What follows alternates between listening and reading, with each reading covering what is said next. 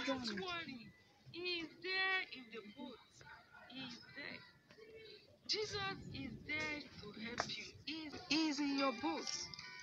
Just like when he was in the boat of Peter in Luke chapter 5, verse 5 to 6. And the boat wanted to capsize and sink.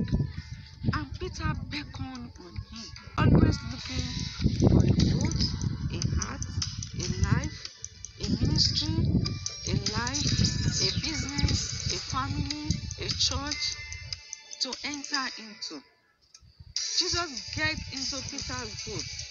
Peter did not shut Jesus out of his boat. Don't shut him. For anyone else feeling lost in life right now, don't worry about the grave.